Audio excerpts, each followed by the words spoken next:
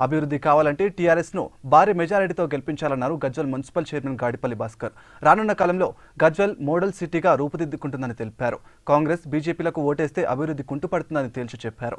CM KCR వల్లే గజ్వెల్ అన్ని రంగాల్లో అభివృద్ధి సాధించిందని తెలిపారు.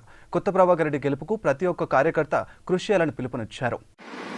అందరికీ నమస్కారం. నిన్నటి రోజు ఏదైతే నర్సాపూర్లో బహిరంగ సభ ఏదైతే జరిగిందో కనీవిని జరిగిన రీతిలో గజ్వెల్ కాన్ఫరెన్స్ నుంచి పెద్ద ఎత్తున జనం ఆ యొక్క సభకు హాజరైన సంగతి కూడా మనకు తెలుసు. ఈరోజు రాష్ట్రంలో కాదు దేశంలో కూడా నంబర్ వన్ మెజార్టీ మన కొత్త ప్రభాకర్ రెడ్డి గారు రాబోతున్నారని కూడా ప్రజలందరూ కూడా అభిప్రాయాలందరూ తెలియజేస్తున్నారు. నిన్న సీఎం గారు కూడా సభలో చెప్పడం జరిగింది.